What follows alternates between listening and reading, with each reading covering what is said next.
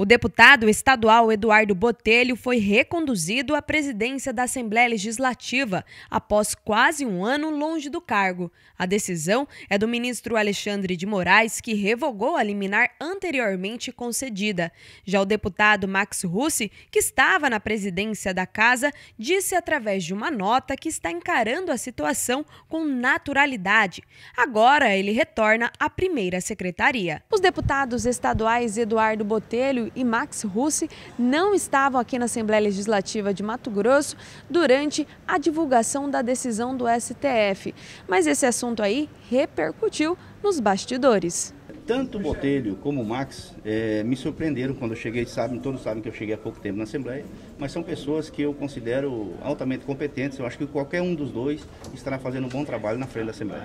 Nós sempre dissemos aqui, a Assembleia aqui vive um momento de muito harmonia.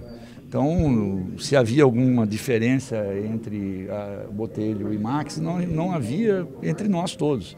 O Botelho foi nosso presidente durante um bom tempo, o Max foi o primeiro secretário.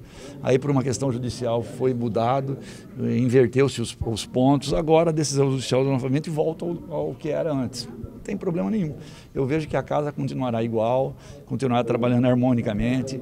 É, eu tenho, nós temos, e eu pessoalmente tenho uma relação excepcional, tanto com o deputado Max como com o deputado Botelho. Diante da decisão, houve mudanças na mesa diretora da casa. A deputada Janaína Riva ficará como vice-presidente e Paulo Araújo como quarto secretário. Já Wilson Santos ficará na segunda vice-presidência, delegado Claudinei na terceira secretaria e Valdir Valdir Barranco na segunda secretaria. Então, para mim, é, não muda muito, né? Eu continuei trabalhando. Vocês veem que eu sou o segundo que mais produz aqui na Assembleia.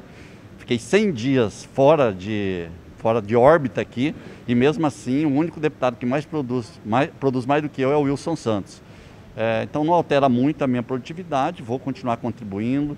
É, voltando à mesa, eu reassumo a segunda secretaria e vou ser bastante presente como sempre fui.